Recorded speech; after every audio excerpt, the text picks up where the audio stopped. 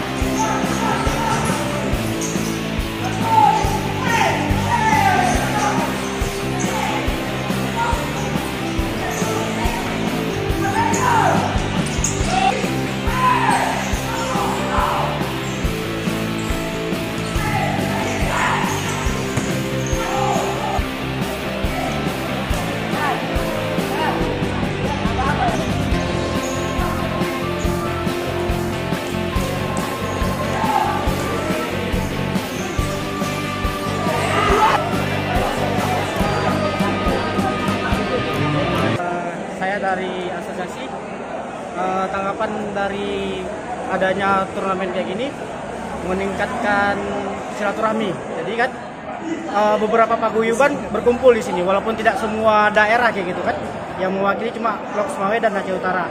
Eh, berharap eh, di acara ini ya peningkatan silaturahmi, solidaritas juga sangat penting, ya kan? Eh, salah satu pendukung bahwasanya eh, silaturahmi itu adalah di pusat ini, yang paling dominan di pusat.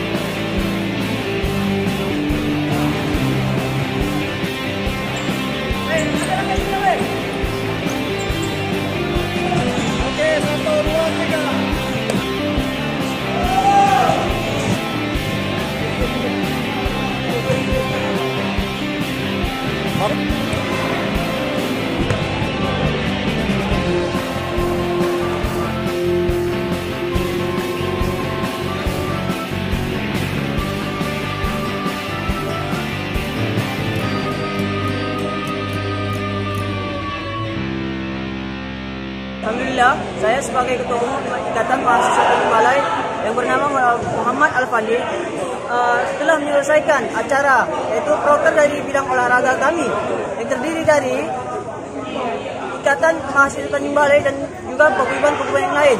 Adapun per- pertandingan ini dimulai dari 24 paguyuban se-Lok Sumawe ataupun se-Aceh Utara dan terdiri dari untuk pemenang yang pertama yaitu juara pertama yaitu Ikatan Mahasiswa Pemuda Kota Lok Sumawe.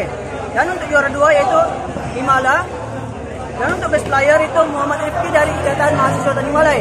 Dan juga top score itu Ikatan Mahasiswa Pemuda Kota Lok Sumawe. Dan terakhir untuk best goalkeeper itu Ikatan Mahasiswa Pemuda Kota Lok Sumawe. Demikianlah laporan saya dari Ketua Ikatan Mahasiswa Tanjung. Semoga dengan adanya acara turnamen futsal ini yang diadakan oleh Ikatan Mahasiswa Tanjung 4.0 akan meningkatkan solidaritas Ikatan Mahasiswa Tanjung Balai yang ada di Lok Sumawe. Sekian saya laporkan. Assalamualaikum warahmatullahi wabarakatuh.